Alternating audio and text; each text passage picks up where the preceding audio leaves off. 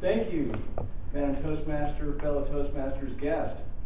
So I know when you all woke up this morning, you had a burning desire to learn more about golf.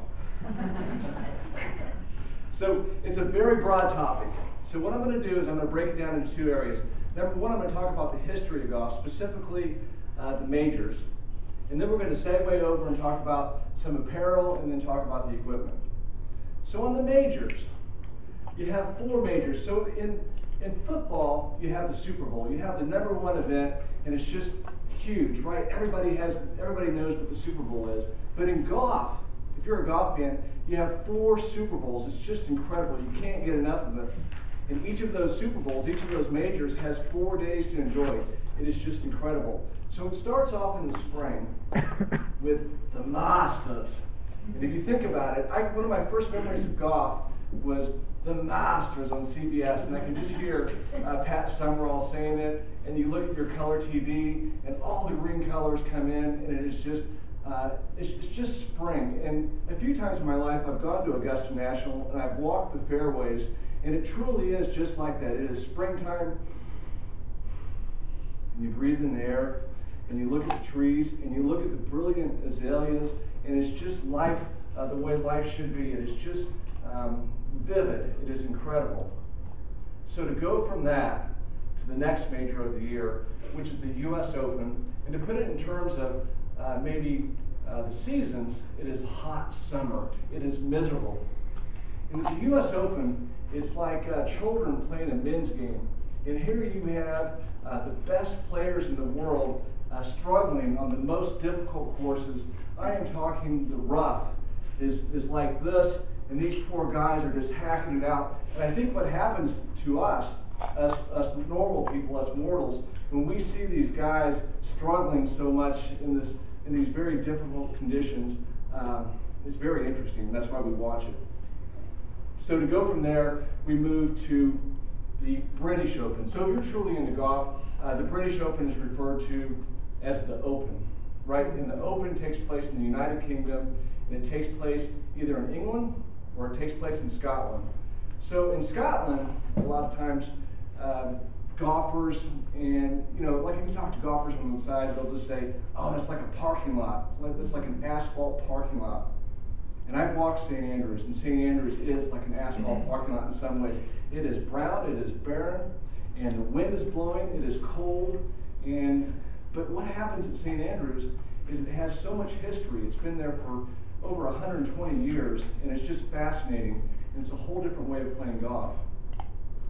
Now, as far as the majors go, we go to the fourth major of the season, and that's the PGA Championship. In a lot of ways, it's like the ugly duckling.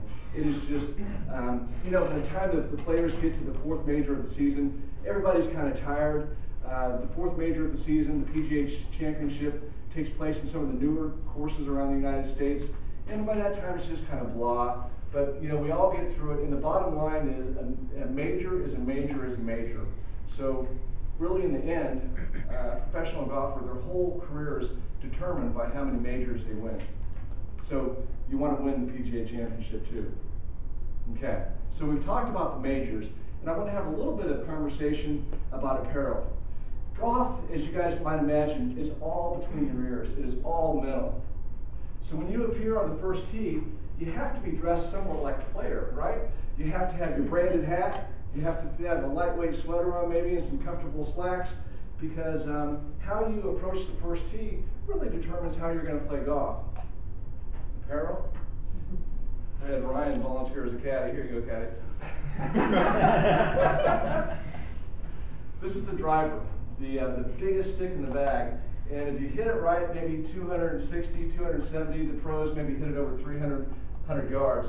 But driver, um, grip, shaft, club head, the basics of the driver. So you want to hit it all the way down the fairway, uh, 300 yards, let's say.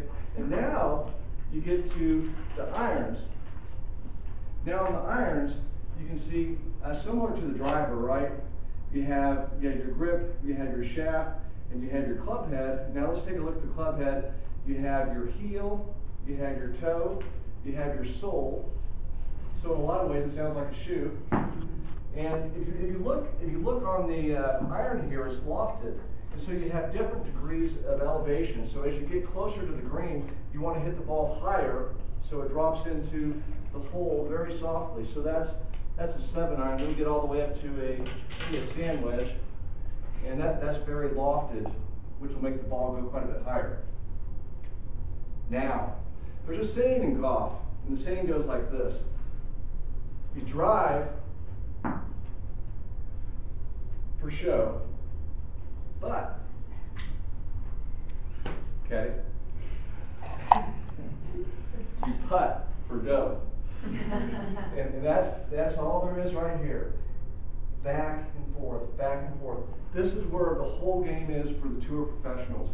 And it's all about having clear thoughts in your head, not getting nervous, back and forth, back and forth. You'll see the tour professionals practicing hours and hours just going on the practice screen, back and forth, back and forth. Because when it gets down to it, it's all about this stick right here, the putter. So, to recap, we talked about the history of golf, specifically the majors, and then we went into a little segue and we talked about some apparel, and then we talked about equipment. So, thank you, fellow Toastmasters.